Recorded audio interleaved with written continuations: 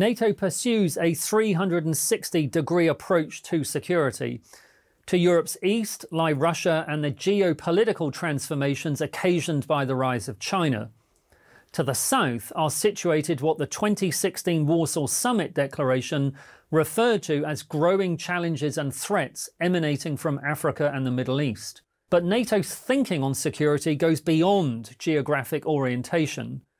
According to NATO's 2018 Framework for a Future Alliance Operations, the strategic environment the alliance faces is transnational and at the same time ambiguous, complex, and rapidly changing. Here, threats emanate from both state and non state actors.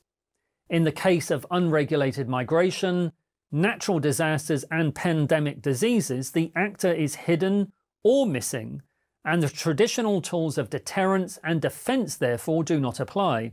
To get to grips with this uncertain world, NATO back in 2010 established an emerging security challenges division to analyse and advise on non traditional risks and challenges. That body's work has focused, among other things, on counterterrorism, cybersecurity, energy supplies, and the proliferation of weapons of mass destruction. Operationally, the Alliance has articulated a programme of long term military transformation that informs NATO political guidance and the defence planning process. NATO also views working with partners as essential. The recent 2018 NATO EU agreement, for instance, refers to multiple and evolving security challenges and takes forward joint work on terrorism as well as hybrid and cyber threats. The breadth of NATO's work and the scale of the challenge it faces can be illustrated with three examples. The first, disaster response, is of long standing NATO's cooperation here goes as far back as 1953. More recently, since 1999, the Euro Atlantic Disaster Response Coordination Centre has organised NATO operations involving both allies and partners, working alongside UN and EU agencies. NATO has responded to earthquakes in Turkey, forest fires in Bulgaria and Bosnia, severe winter conditions in Ukraine, floods in Algeria and Albania, humanitarian crisis in Kosovo, and the aftermath of a tsunami in Indonesia. In 2005, NATO answered an American request for assistance in the wake of Hurricane Katrina.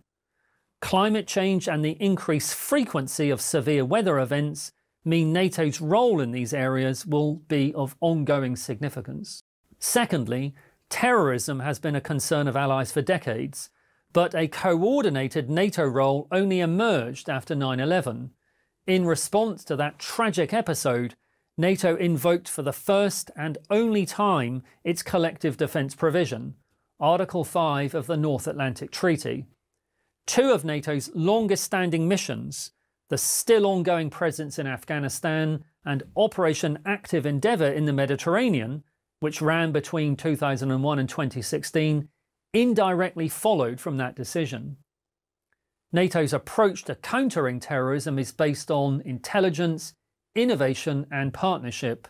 Currently, the NATO training mission in Iraq, participation in the global coalition to defeat ISIS, and the establishment of a NATO hub for the South in Naples, Italy, are part and parcel of this counter-terrorism effort. Such initiatives are complemented by a terrorism intelligence cell set up at NATO headquarters in 2017.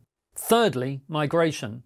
In 2015, Europe faced a major crisis as nearly 1 million migrants and refugees fled conflicts in Syria, Libya, Afghanistan, and elsewhere and sought refuge in Europe.